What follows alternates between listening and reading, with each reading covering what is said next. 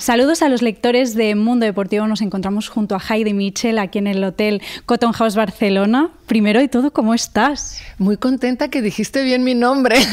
no es fácil encontrar. Casi siempre me dicen de otra forma, lo leen mal y tú lo has dicho perfecto, así es que feliz y contenta de estar aquí con ustedes.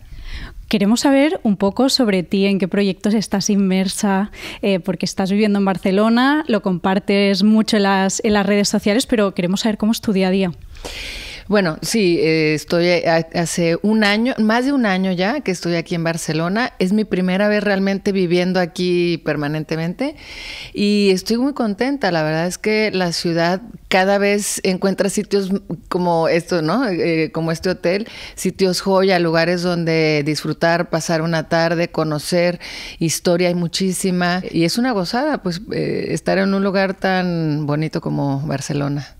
Además, este hotel tiene unas vistas maravillosas a la Sagrada Familia y decías que ya has estado un montón de veces. Sí, bueno, lo que pasa es que cuando viene gente de fuera a visitar, sobre todo eh, familia o amigos de México, me ha tocado estarlos llevando y hacer casi casi de guía de turista, que creo que no me contratan porque digo toda la historia al revés. O sea, la escucho, me la cuentan y luego se me olvida la mitad. Pero es una maravilla eh, poder entrar en estos sitios y siempre ves algo nuevo. Y, y bueno, la Sagrada Familia es que es algo realmente espectacular. Háblanos de más sitios que te gusten de, Barcelona. ¿Qué sitios te han sorprendido? Pues mira, ir a la playa me fascina. Hay diferentes sitios, diferentes zonas, depende. A veces es solo para caminar, eh, para pasear con los perros y, voy a una playa. Luego si quiero ir a comer o a un chiringuito o eh, en verano a, tomar el sol y nadar en el mar, pues vas a otro. O sea, tienes un poco de todo eh, que cubre las, expectativas de cada quien. Y todo lo de Gaudí es lo que estoy empezando a ver ahora y es lo que más me, me ha gustado no había visto tantas cosas como ahora que estoy aquí.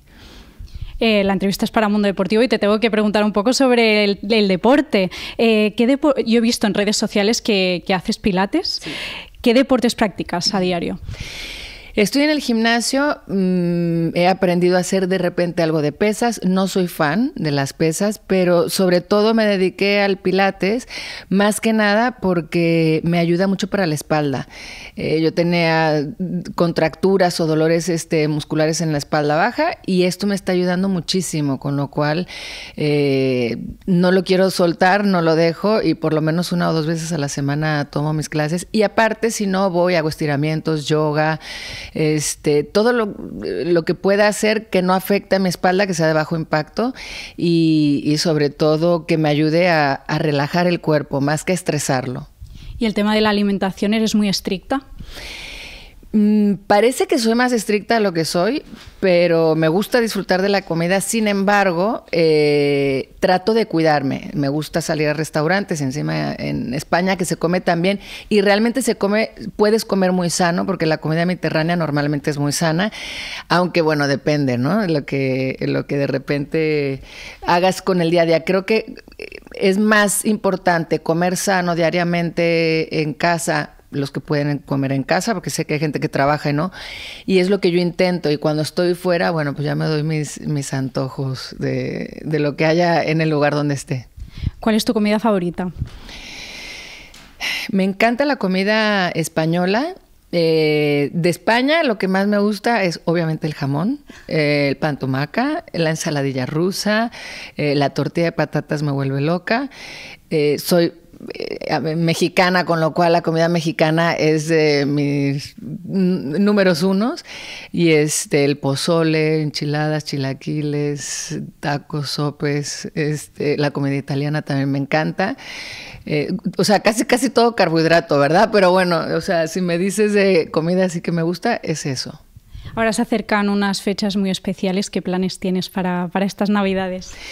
Para estas Navidades, pues yo creo que nos quedaremos por aquí, por España, este año, porque tú sabes que en el mundo del fútbol estos justo son eh, época de torneos y entonces no dan mucho tiempo, así es que no nos podemos escapar lejos. ¿Qué tradiciones, eh, claro, estás en la distancia, supongo que te traes tradiciones aquí mexicanas para estas Navidades y si has adoptado alguna, alguna española?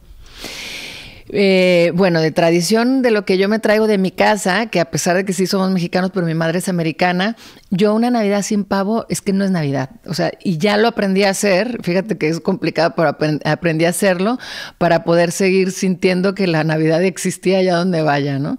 Entonces, bueno, pienso hacer pavo, ya lo encargué. Este año hacemos eh, cena de, Navidad con amigos y, y el pavo no va a faltar. Y este, y de aquí, ¿qué es lo que tenemos mucha similitud en las, y creo que cada vez más, ¿no? Hemos adoptado mucho, en, yo sé que en España Reyes este, se celebra bastante, y ahora yo creo que eso es lo que celebro más. En México también se celebra, pero es sobre todo la Nochebuena, y aquí es, creo que celebran un poco más Reyes. Entonces, este, bueno, ahora he adoptado el celebrar también casi casi a la par, ¿no? De, de intensidad en Reyes. ¿Qué deseos le pides al nuevo año?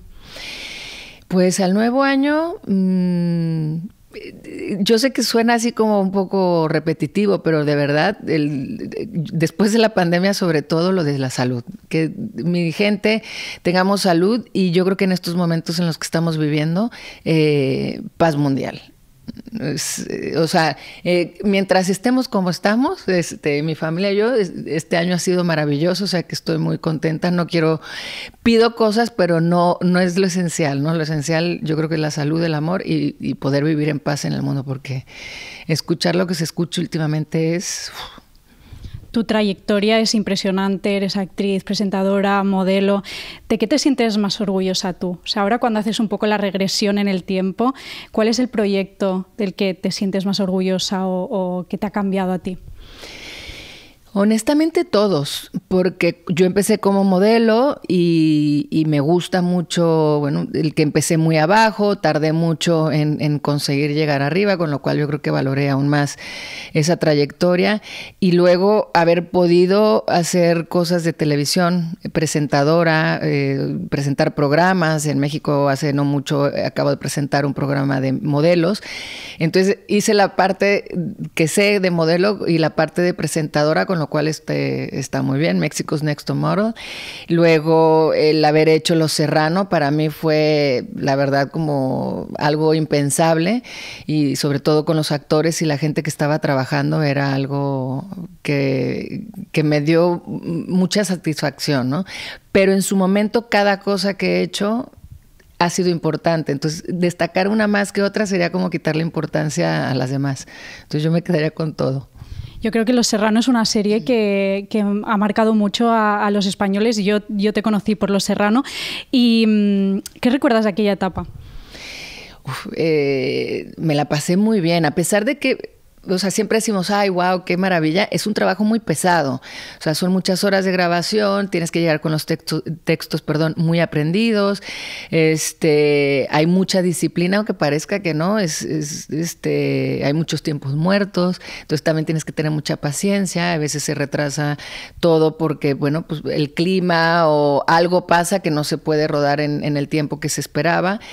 Y, y aprendí muchísimo. O sea, para mí yo creo que es, es, una de las etapas que más me ha enriquecido en todos los sentidos y, le tengo muchísimo cariño. Sí, ahora veo que, ahora que regresé a España, he visto que hay mucha gente que, sobre todo jóvenes, que la están volviendo a ver en, en las aplicaciones de las redes y que están viendo ahora a Los Serrano, con lo cual me da mucho gusto cuando me reconocen por Los Serrano. Y ya para acabar, ¿qué cosas te ilusionan de cara al futuro? Bueno, de cara al futuro, profesionalmente me encantaría poder volver a hacer alguna serie o algo, alguna película, algo en televisión. Así es que pues estoy trabajando en ello y esperemos que, que los reyes me lo traigan. Muchísimas gracias. Muchas gracias a ti.